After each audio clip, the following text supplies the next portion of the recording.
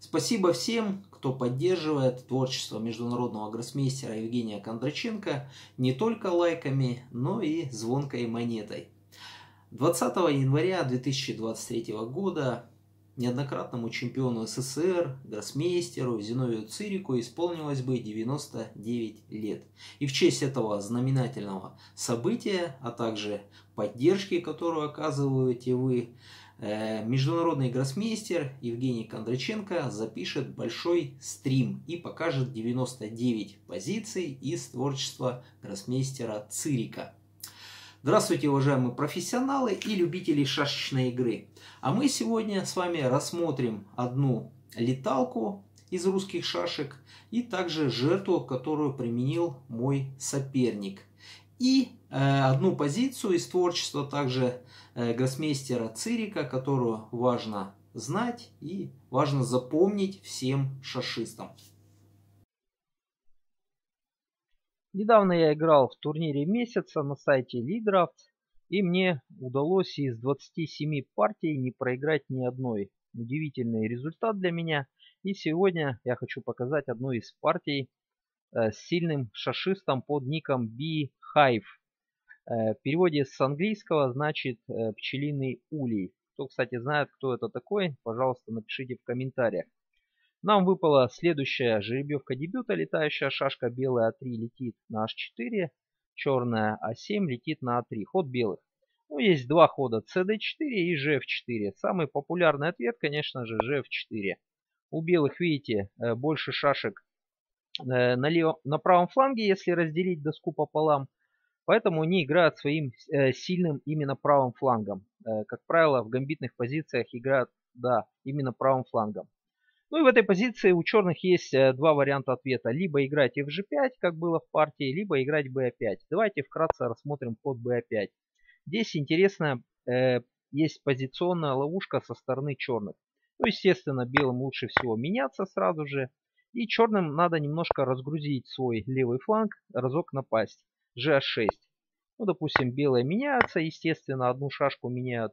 Ну и далее возможен такой вариант. Fe5, загоняем белую шашку на бортик G6. Hg7, развиваем отсталую шашку, но белые подтягивают шашки ближе к центру. Gf2, Gf6, Fe3, CB6, Hg3, B7. Ну и в этой позиции у белых есть два плана игры.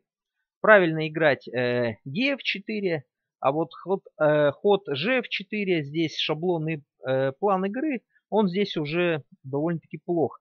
Ну, давайте рассмотрим вкратце оба плана. Если белые играют Е4, наиболее правильный план игры, тогда БЦ5.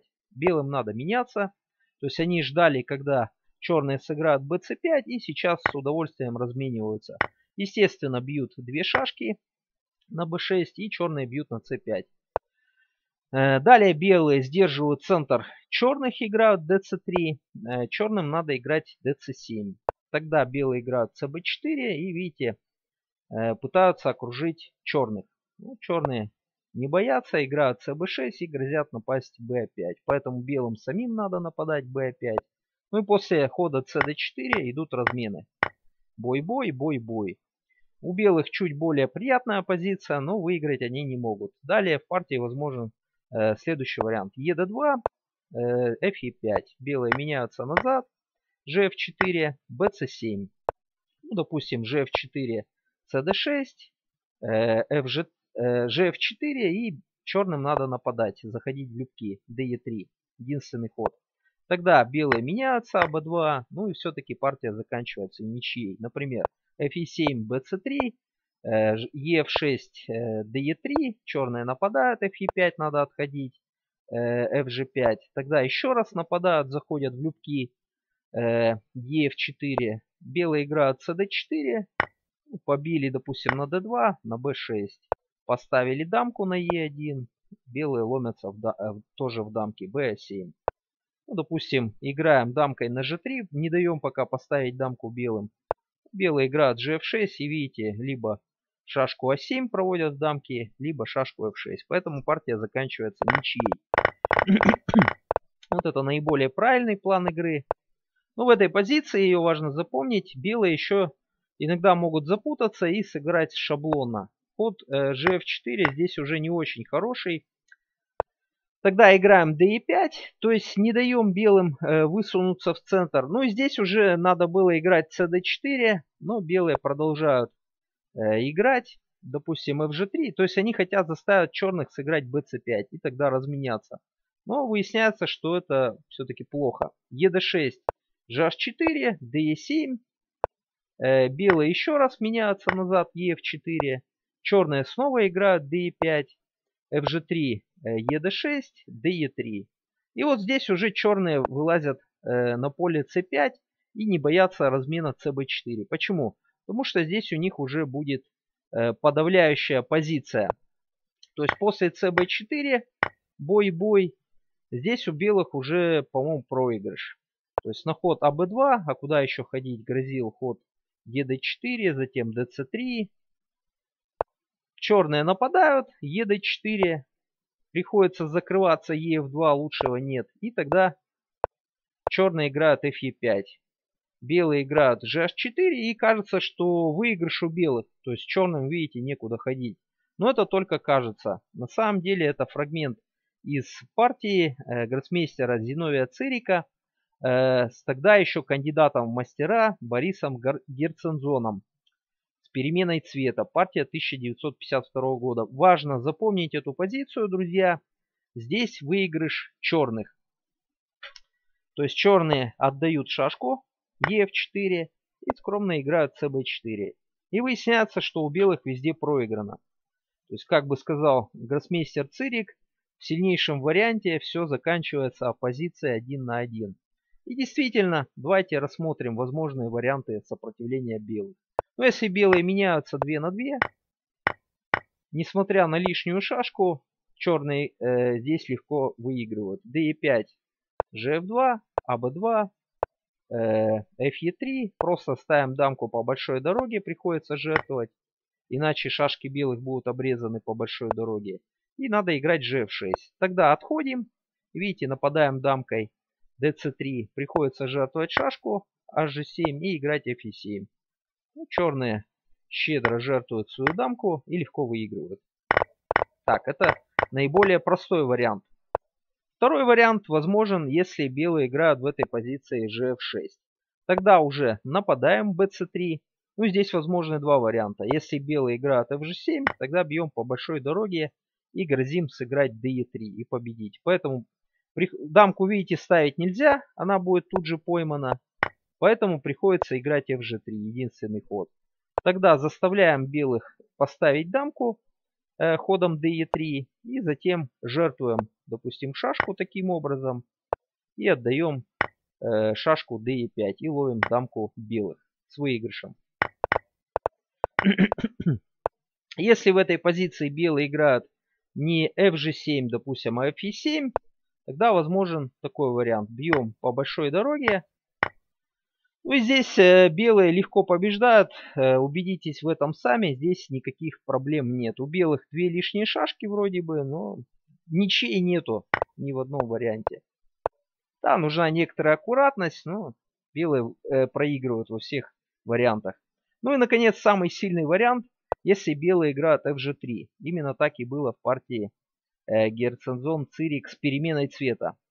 Здесь выигрывает единственный ход. Можете поставить видео на паузу и попытаться найти выигрыш за черных. Выигрывает только DE3. Очень э, сильный ход. Ну здесь, э, видите, грозит отдача э, ED2, поэтому приходится отдавать белым шашку BC3 и идти в дамки. Но здесь черные делают снова потрясающий ход. Жертва двух шашек. Щедрость черных безгранична. И затем черные смело ставят дамку на поле Е1. И выясняется, что несмотря снова на две лишние шашки, у белых проиграно. То есть, ну допустим, HG5, как и было в партии, занимаем большую дорогу. Если белые будут просто подтягивать свои шашки э, ближе к центру, тогда уходим на 1 и, допустим, бегаем по полям А1 и Б2 с выигрышем. Ну, белые здесь поэтому решили поймать дамку вот таким образом cd2 и gh4. Ну, здесь тоже выясняется, что а после АБ2 gf6 мы ставим дамку по большой дороге, приходится жертвовать hg7 и идти в дамке fe7. Но черные снова жертвуют дамку. И как раз, вот видите, друзья, я вам обещал оппозицию один на один. Чё, бел, белые начинают, но выигрывают черные. Вот такая, друзья, важная позиция. Еще раз остановлю. Вот в этой позиции выигрывает жертва. Е4. Запомните ее. Так, рассмотрели побочные варианты. Но в этой позиции я сыграл вместо b5, я разменялся fg5. Ну, естественно, бьем одну шашку.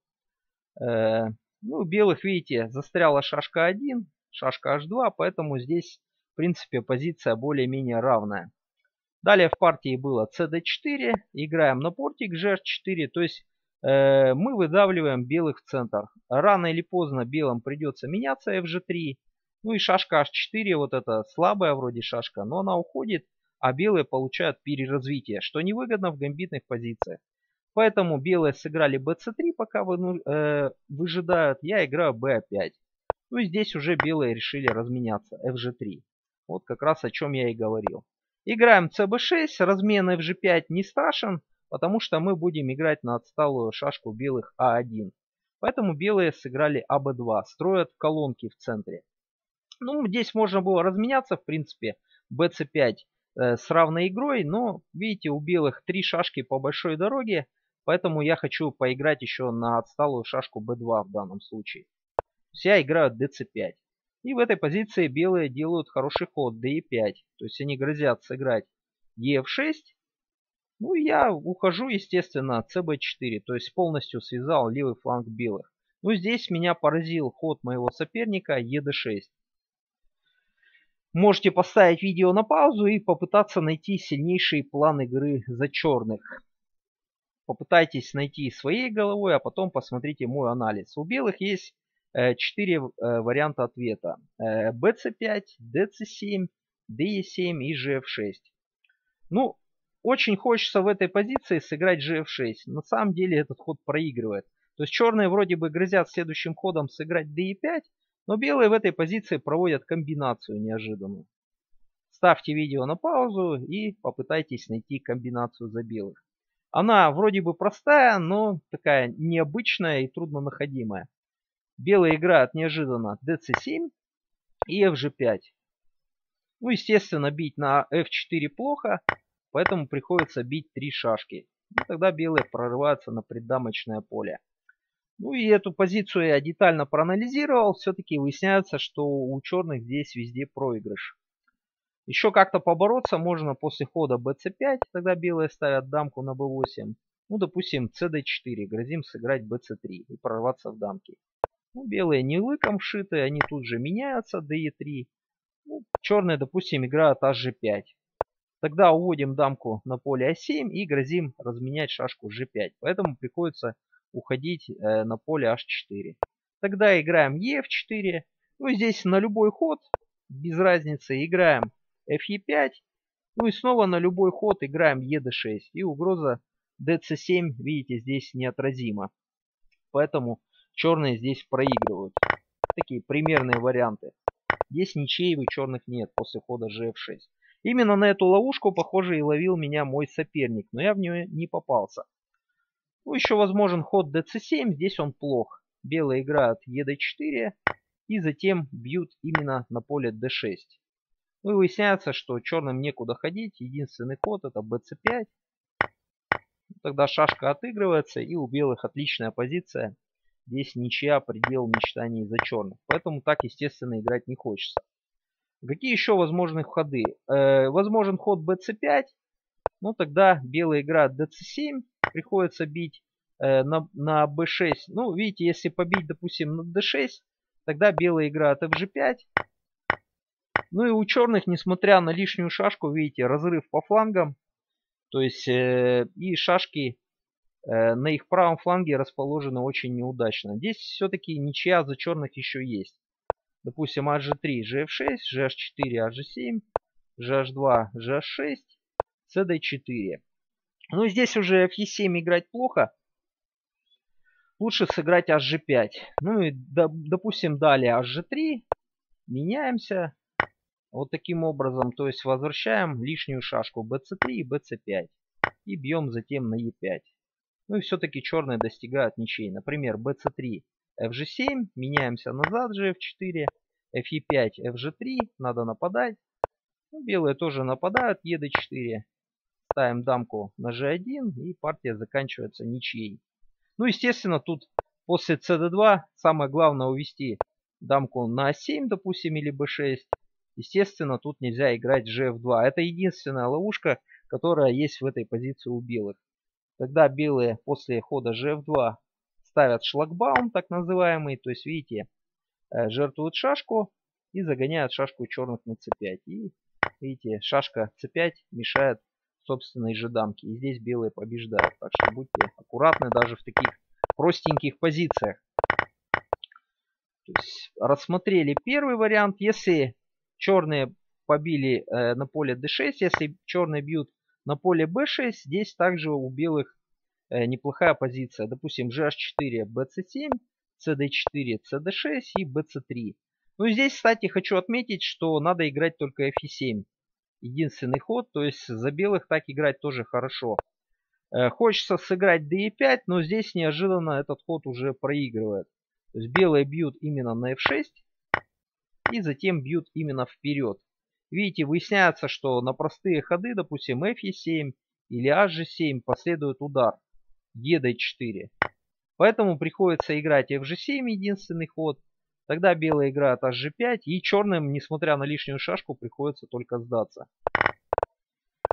Видимо, еще на такой вариант ловил меня соперник, но все-таки в этой позиции я нашел сильнейший план игры. Именно э, DE7, такое нападение. Приходится играть CD4 и, B, и GH4. Ну и в этой позиции есть два плана игры. Очень хотелось мне здесь сыграть B7, но все-таки я так посчитал примерные варианты, сыграл BC7. Ну давайте рассмотрим B7, почему мне это не понравилось. Белые играют bc3 и непонятно, как э, черным реализовывать лишнюю шашку. Например, f7, hg3, ed6. Строим упор для размена на поле e5. Ну и после хода gh2 меняемся до e5. Белые могут, кстати, и одну шашку побить, и две. Ну, лучше, наверное, одну побить. Допустим, побили на d6 и затем играем gf4. Допустим, ed6, белые меняются, э, нападают d5, и здесь надо только играть gf6, единственный ход. Тогда бьем на c7 и затем меняемся fg5. Ну и снова, несмотря на лишнюю шашку, белые здесь э, делают ничего. Так, hg3, ab6, b, э, gf4, bc5. Белые нападают. Вроде бы кажется, что все плохо за белых. То есть играем fe5 и грозим сыграть cd4. Но белые здесь снова э, проявляют щедрость, играют э, gf6 и hg5. И выясняется, что здесь уже, э, как сказал бы гроссмейстер Владимир Вигман, чисто хоккейная ситуация. Несмотря на двух лишних э, игроков, черные не могут реализовать численное преимущество. И партия заканчивается ничьей. Например, cd4, bc3, бой-бой. Просто идем в дамке gf6. cb2 и, допустим, fe7. Ставить черным дамку нельзя, поэтому приходится отдавать шашку. gf6, побили. И черные, блин, что-то у меня все прыгает. Черные ставят дамку на 1. Играем ед6 и партия завершается ничьей. Вот такие варианты были возможны после хода э, b7. Но в партии я сыграл на ход gh4, сыграл именно bc7. Здесь у черных э, преимущество. В партии мой соперник сыграл bc3 и я сыграл cd6. И здесь мой соперник ошибся. Он сыграл hg3. Этот ход уже проигрывает. А надо было играть hg5. Давайте рассмотрим наиболее э, сильный план э, за обе стороны. То есть после хода hg5 приходится уже меняться до e5. И белым надо бить только на f6. Остальное проигрывает. Ну, допустим, побили, побили. fe7, gf2. Черные грозят э, напасть на шашку g5, поэтому ее надо защитить. Ну и на ход hg7 играем fg3. Нападать gf6 бесполезно, поэтому черные играют ед6 и грозят уже разменяться de5 и победить. Белых кажется печально все, но на самом деле все-таки оказывается ничья. Такой интересный прием. Белые играют cd4 неожиданно. И видите, ход кажется плохим, потому что черные могут провести комбинацию. То есть bc3 и бить назад нельзя, потому что черные сыграют d5 и победят. Но белые в этой позиции неожиданно бьют на поле b4. И выясняется, что здесь снова ничья. Есть побили на e5, белые нападают g6, черные играют ед4, бой-бой. Ну, партия заканчивается ничьей. Допустим, ушли на 1, надо жертвовать шашку и черные прорываются в дамки. Белые также проводят вторую шашку в дамки, но здесь партия заканчивается ничьей. Вот это сильнейший план игры э, за белых при э, как раз в плане игры за черных э, вести шашку b8 на d6. Но в партии мой соперник ошибся, hg3, и здесь у меня был выигрыш. Э, проще всего было сыграть в партии gf6, но меня смутил ход gh2, и здесь я выигрыша не нашел. Выигрывал простой двойной размен fg5 и de5. Ну и здесь можете убедиться сами, у черных здоровая лишняя единица. Белые здесь никак не могут сделать ничью. То есть вот этот простой выигрыш я почему-то не нашел. А я в расчете стал смотреть вот такой вариант. Допустим, de5. И меня смутило здесь, э, что после хода ef4 кажется, что у черных нет выигрыша. То есть вроде бы надо играть hg7, но белые здесь проводят комбинацию. То есть отдают шашку de3, затем cb2 загоняют черных дамки и играют de5. Такая стандартная комбинация. Допустим, побили, побили, побили. Ч э, белые ловят э, дамку черных. Ну, здесь можно и на d8 побить. И можно побить, э, допустим, на поле h8. Если белые бьют на поле h8, здесь за черных даже есть еще ловушечка. Играем bc5 и надо играть только hg7 с ничьей в дальнейшем. А вот ход hg3 здесь э, проигрывает. Можете поставить видео на паузу и попытаться найти выигрыш за черных. Ловушка указана международным гроссмейстером Евгением Кондраченко. Черные жертвуют шашку cd4 и затем играют e6. Белые бьют и черные скромно играют АБ4. И выясняется, что на ход GF4 черные отдают еще одну шашку и играют BC3, допустим. Ну и видите, дамка белых и также ее э, две шашки остаются в заперти. Черные побеждают. Если же в этой позиции белые играют GH4, ну ничего страшного. Играем, допустим, BC3, надо жертвовать HG5, единственный ход. И выясняется, что тоже, что здесь дамка белых остается в заперти с шашкой G7. То есть видите, ход белых, а им ходить некуда. Такая симпатичная вещь. Но все-таки даже в этой позиции еще была, э, был выигрыш за черных. То есть не надо было играть hg7, надо было пожертвовать шашку hg5 и затем сыграть ед6.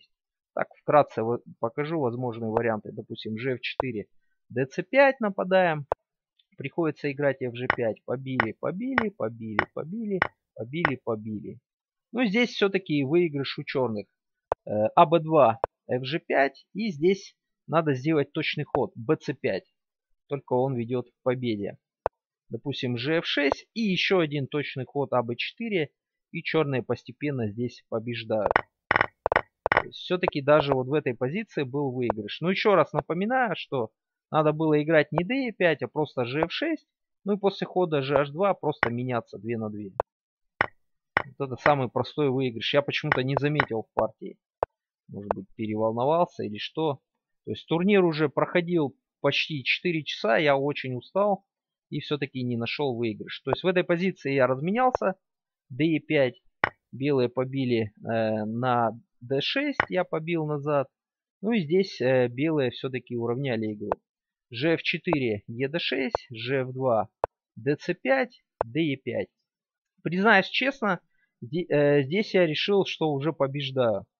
У меня лишняя шашка, то есть мы грозим сыграть f7 и просто напасть e6 и выиграть партию. Тут вроде у белых нет шансов. Но белые предусмотрели э, такую комбинацию. Они нападают e6, приходится отходить e6 и проводят удар.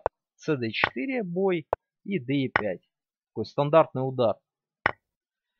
Но все-таки, к моему счастью, здесь у черных оказалась хотя бы ничья. Я уже думал, что вообще проиграл. Но ничья есть. bc3 поменялись. Допустим, белые ставят дамку на b8, черные отходят, белые меняются. Ну и далее в партии было, я поставил дамку, белые играют hg5.